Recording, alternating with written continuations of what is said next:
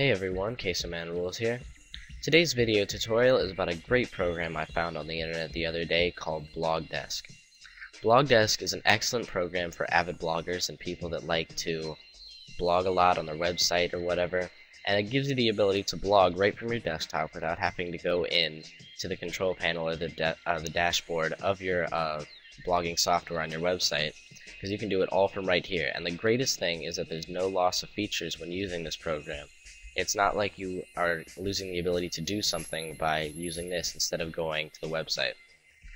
Now what I'm going to do right here is I'm going to show you guys how to get it, how to install it, and then run through the quick features that are available with the program, and um, how you're going to be able to use it every day to fill your needs.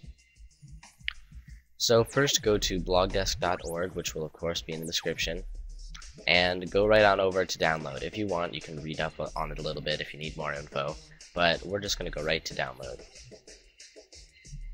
Right down here you see download Blogdesk 2.8, just click on that. And the download will begin. It's really simple. So just download it. It's a very small file because it's an installer. And this will just go really quick right here. And I'm not even getting very good speeds. It'll be much faster for you guys, probably.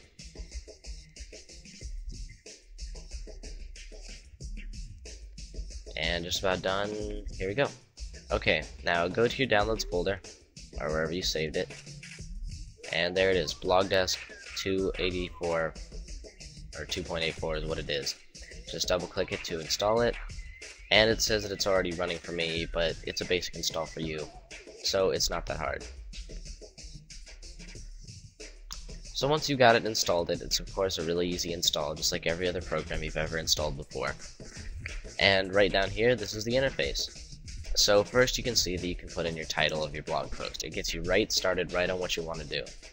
So since this is going to be fresh on your mind, it's great that it's first. We'll call this test post. And one of the great things down here, now that you've gone to your post, is a lot of people like to use the more tag that makes it so that on the front page of their blog it only shows a portion of the post and then the rest of it will be displayed after clicking on the post on the front page. So what you can do is type in your post here, or at least the start of it, and just blah blah blah, whatever you want, and then um, once you're done, that's all the stuff that you want to put on the front page. Go to the More tab right here, and type in the rest of it. Now once you go, it'll look just like that on your website. It'll show the title and this right here, but then when they click on the title and it goes to the post page, it'll show both of these mixed together. You can also use an excerpt, which is where you would type everything in the post section and then write an excerpt up, and that's what would be displayed on your front page, and then this would be displayed on your actual post page. They, people do this because they like to write summaries of the whole post um, that sums up the whole post, and then the whole post would be just right there. Um, after you've got your whole post typed and everything, it's time to set it up, and I'm also going to show you a couple features in a minute. Uh, make sure you pick your category over here. I have this set up for my blog, so these are the three categories I have right here. I don't have real in-depth categories, I just like to organize it. So April 2009 is when I'm doing this. Leave these three the same, probably, unless you don't want to allow comments, allow pings, and you probably want to publish it after upload so it doesn't save it to drafts. Leave this alone, because this is generally for editing posts that you've already posted, and that'll change the date and time to the present time. I like to check that off though, because I don't like people knowing that I edited the post because it's generally a typo or something. Okay, um, now we're gonna go over some basic features. That's that's just basic blogging. Now we're gonna go over the features. Say you're posting and you want to add an image. Right up here you see image. Just click on it, and you can browse for it in your computer. And if you don't want to browse for it, you want to use a link off the internet, click the little arrow and go to external link and it's got a nice setup for you right there where you can enter the website, the alternate text, and all that. Um, you've got a link inserting right there, just like on um, website. Um, so you just type in your link in the description, and it'll put it right in there, all set up. You can also insert HTML just the way it is. Very great, and it's very easy. Um, you also, at least I do because I run WordPress, have special options if you need to do custom fields or post passwords.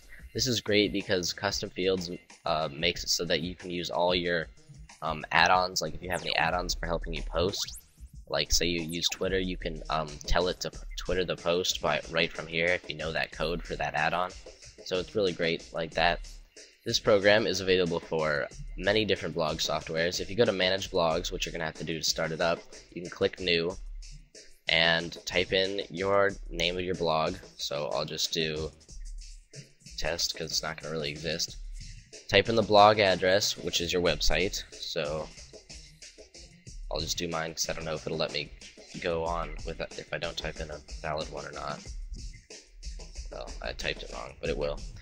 And then right here you can select your um, blog type. As you can see there are quite a few different types this works with.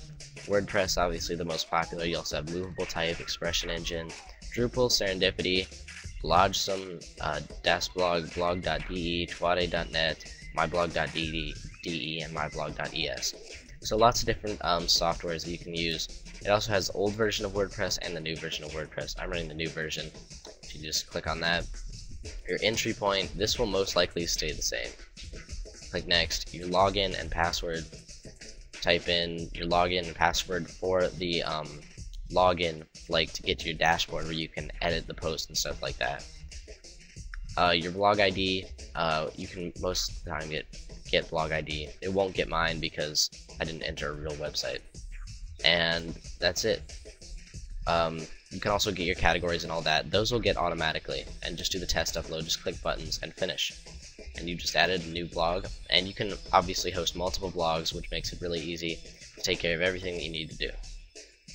So thank you for watching this video tutorial everyone on Blogdesk, a great free software program for editing blogs and uploading new posts. This has been Quesoman Rules Tutorial. Please subscribe to my videos if you like them, rate, comment, and go to my website, um, http colon slash quesomanrulz.cc. Thanks for watching, guys. Bye.